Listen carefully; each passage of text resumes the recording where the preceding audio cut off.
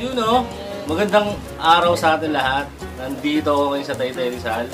Ah, kasama ko ang anak ko.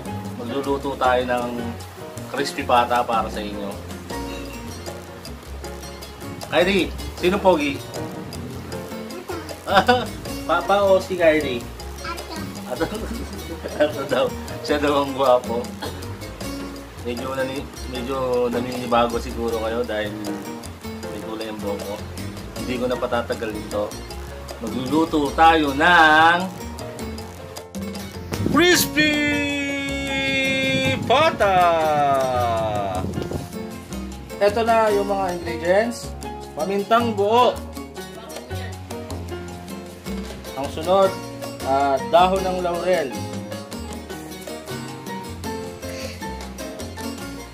Dalawang buo na bawang. Dalawang buo na sibuyas. Ayan yung celery natin, tsaka yung crispy pata. Yung crispy pata, yung pata lang ng baboy. Nabili ko siya 1 kilo and 1 fourth. Ganon. Ah, 225 pesos lang yan. Nabili natin siya sa SM.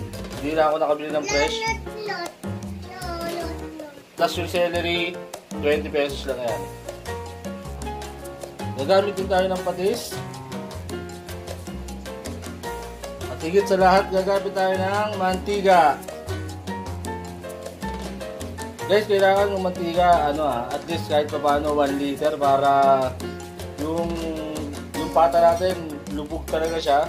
Mas mas ah, lubog, mas crispy yan.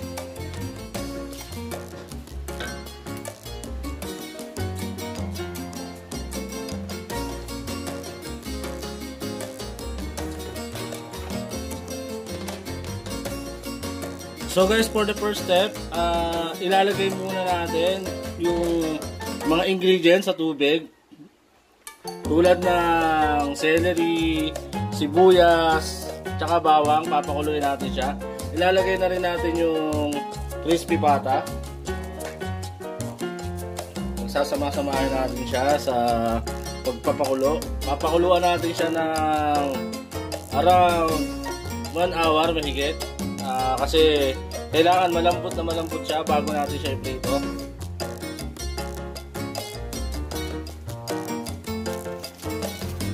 Lalagyan na rin natin siya ng dahon ng laurel. Ayan. So, mga kusina dito sa Pilipinas, medyo puro tariyahan ang bigay. Maliliit ang portion lang. Ayan, lagyan na natin yung dahon ng laurel.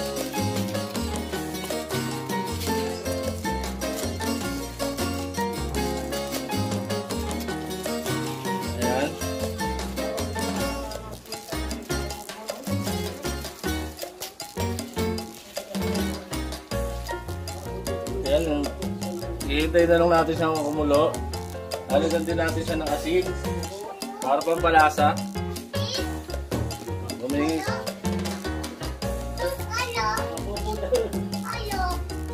natin ng asin.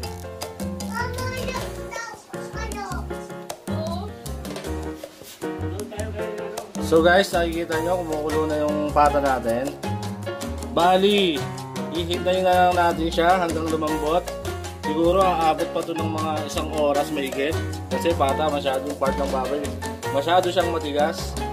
Gabi na mas malambot, mas masarap. Ah, kung pag, pag tinutusok mo siya, oh, parang goma pa. So, hihintayin na lang natin siya, guys, ng, ng hanggang lumambot siya.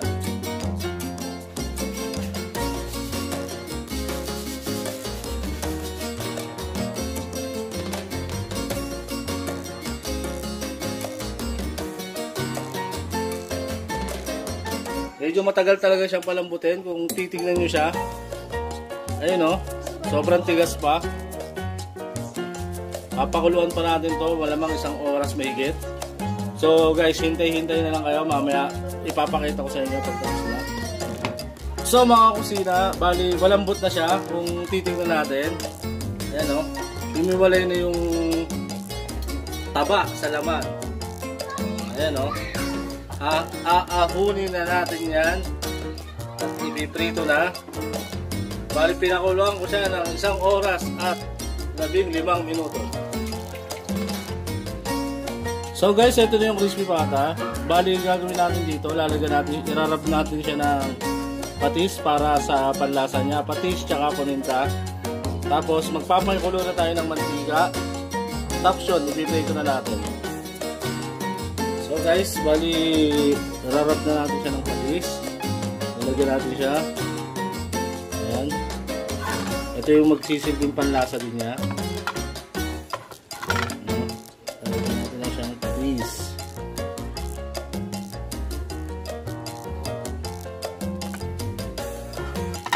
Ayan o.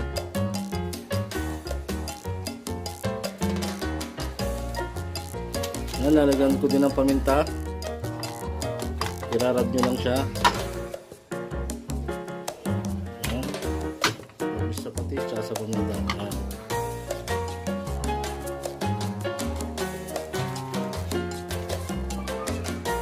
So, ready na to for frying. Diyan, bali, magpapakulo na tayo ng mantika. Papainitin na natin. Bali kanina, transfer ko kasi masyadong malaki. Important, ang mahalaga talaga, kailangan mainit na mainit siya bago nyo ilagay para mas malutong. Magano, magano tayo ng panangga kasi baka talsikan tayo. Mainit na rin yung mantika, ilalagay na natin ito, itong pata natin. Ayun o. Kailangan lubog talaga siya, ayun ang pinakamahalaga. Para, para ma-crispy yung crispy niya. Yung crispy yung lutong ng crispy pata.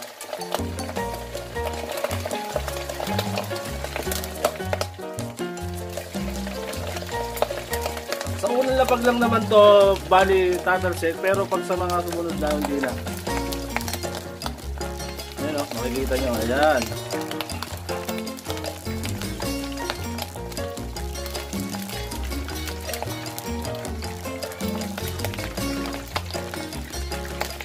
Pag hindi na-covered nitong mantika, medyo balik ka rin nyo lang. Kasi mabilis lang din naman itong palutungin. Ayan o. Kita nyo, malutong na nyo.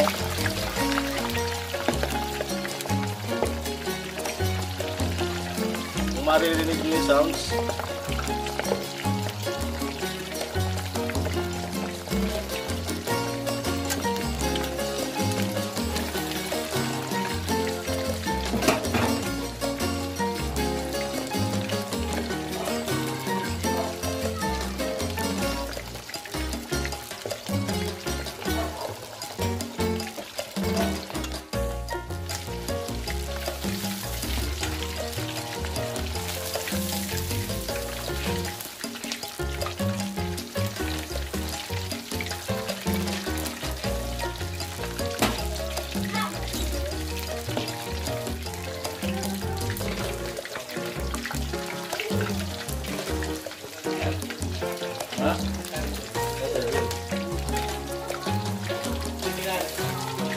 Ay,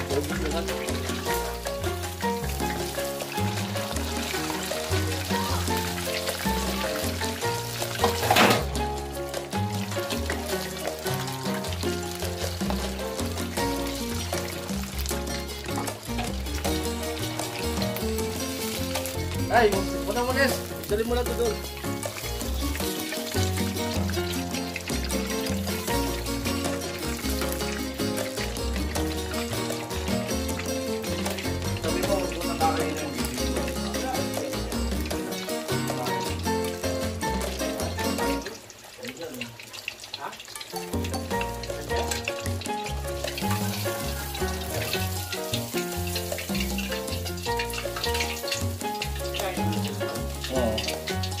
So guys, luto na. Ahulin ko na to. Bali, mamaya papakita ko na lang sa inyo paano yung presentation.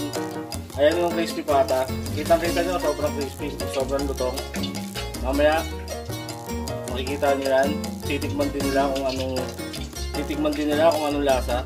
So guys, mamaya titignan nyo, kita-kita lang tayo.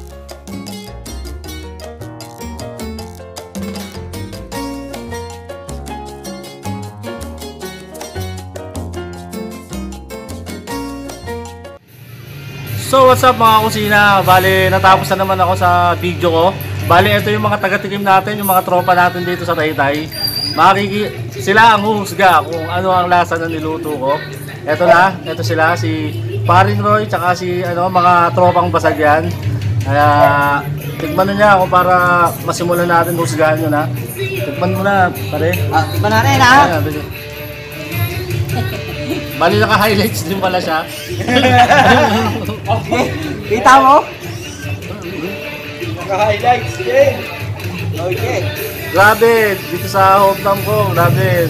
Talagang dito, nag-enjoy talaga ako. Din sa mukha ha. No? Tikman natin sa toyo. Pero talagang alam ko ang crispy pata sa toyo talaga yan, pre, no? At tingin mo, pre, sa toyo, si, okay si Parin Roy talaga, kasi ano yan, yan talagang, Natural. yan talagang titikim. Ano ha, bawal lang ano ha, hindi magandang comment ha. Malambot. Malambot yung laman. Malambot yung laman. Matigas yung mukha. Highlights to yun. Oh, yung balat. Sakto lang. Oo. Oh, Yung pa isa, oy. Ay, ito pa. Ah! Ayan, oh, sige, titikman Ito, natin. ito. Ayan, ayan, ayan. Matigas. Matigas yung buto.